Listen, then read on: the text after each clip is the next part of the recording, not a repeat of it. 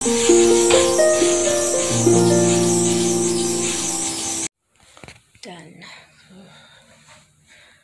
So this is what it's looking like. I'll work on all this. Got up a nice good sweat. My back is really sweaty.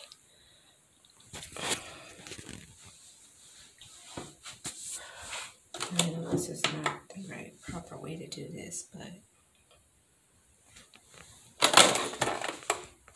oops, see?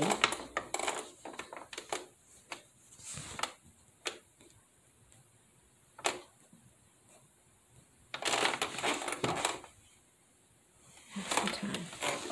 Anyway, I waited at 151 earlier today. Now I'm just gonna do a couple of stretches. Ooh. Ugh. Just stretch out. My thighs really my back too. A lot of times.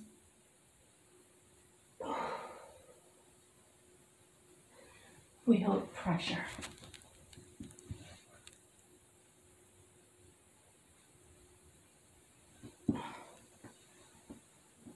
A lot of times we hold pressure in our, we hold tightness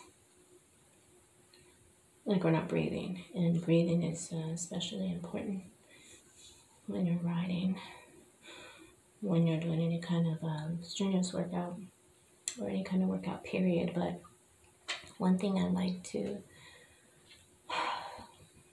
remember, or which I don't always remember to do, but one thing I would encourage myself and others who haven't done this but maybe want to try it is to breathe.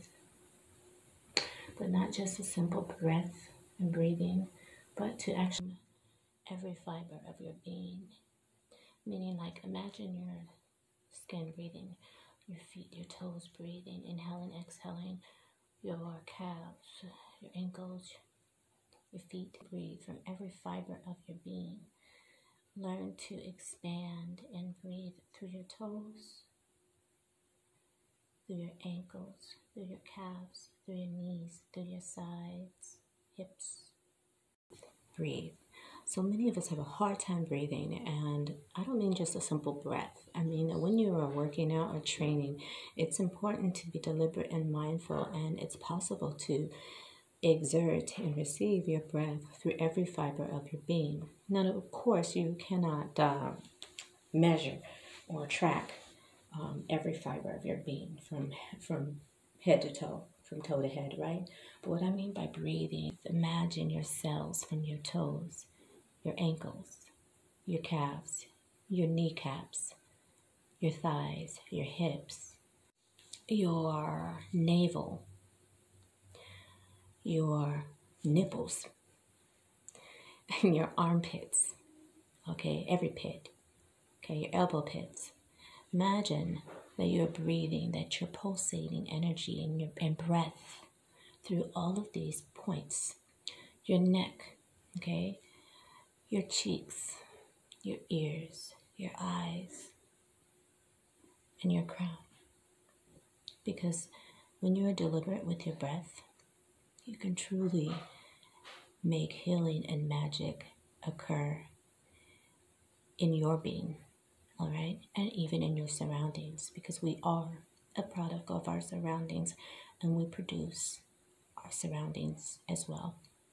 So, with that being said, I just want to encourage everyone to be more, attempt to be more, let's all attempt to be more mm, deliberate with our breath, our life force, our chi, our energy. Okay?